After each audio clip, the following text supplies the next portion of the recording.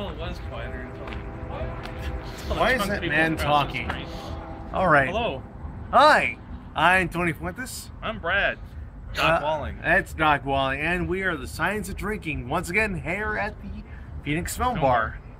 And it's my birthday. Happy birthday. Happy birthday to me. Yes. Say happy birthday. Happy birthday! Thank you, Todd. Um, Todd is our, our film uh, guru as uh, we've chased Hello. him. Yeah, t- t- shh, shh, Todd. Anyways, we we chased Todd into being our film guru, and uh, yeah, uh, today for my birthday we decided to do the Dark Knight. Dark Knight. Yes, the uh, one of the last films, not counting the um, Imaginarium of Doctor Parnassus. Yes, Dr. Parnassus, which had Heath Ledger as a small part of the role, which, you know, there's a whole thing with that. But in this case, he was playing the Joker for The Dark Knight. Doc Walling, your uh, thoughts on such?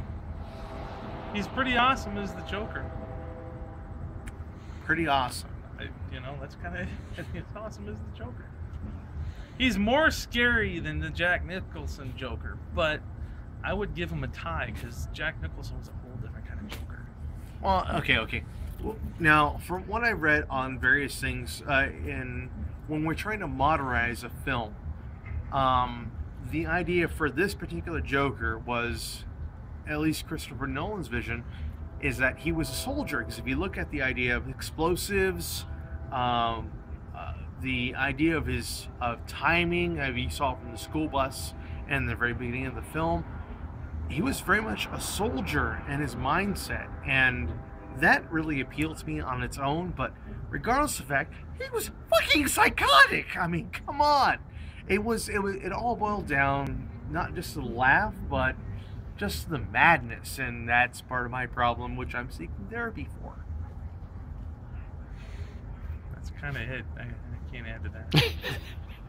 either way um the dark knight i mean it's, it's been out for a while and uh once again it was for my birthday so i managed to drag these two out for this bit of We have madness A question in the audience. Oh wait, wait. We have a, a question for from uh, Todd. Todd, your How do you feel that uh, The Dark Knight compares to the final film in the trilogy? I like this one better. This was the best out of the three, I think. I didn't like the third one only because of the weird sort of voice that came along with the mask and blah blah blah blah blah blah blah. I thought it was Sean Connery for the first 20 minutes. Part of it, yeah, it had the, the weird voice to it, but yeah, we uh yeah. i- If we were to grade it, it would be what uh, two, one, and three. Yeah, that sounds good. Yeah, two, one, and three. when it comes to the Batman trilogy. Now, oddly enough, um, everyone has seen the uh, thing with Superman. The, the teaser trailer for Superman was uh, General Zod sending his message out to the uh, inhabitants of Earth, saying, you know, one of you is among us, and it had a whole TV thing, like it was all staticky kind of. Apparently, rumor has it that the static version of that with um, General Zod coming out saying, hey, you know, one of you is among us, we would like him back, may be the part of the opening trailer for the Dawn of Justice Batman vs. Superman film. Something to keep in mind. Again, this is stuff we've been keeping on cue, and looking at the various boards. Um, we've had our disagreements about it. Uh, frankly, we think the Batman vs. Superman movie is going to be bullshit, but They don't have the best record for DC movies. No, they don't. I mean, the, I mean, DC TV series, The Arrow, fucking amazing. The Arrow is a fucking amazing show. Constantine's gonna be awesome. Constantine, hopefully, I, I'm praying it's going to be amazing, which is ironic given. And there's a bunch of damn those biker gangs and their bicycles.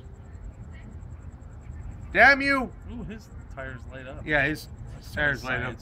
Yeah. So anyway, Anyways, um, yeah, I'm I'm Doc Walling. This is Anthony. and uh, we are the science of drinking. Oh yeah, of course. There's Todd, our camera guy. No, Wave hi at Todd. sure.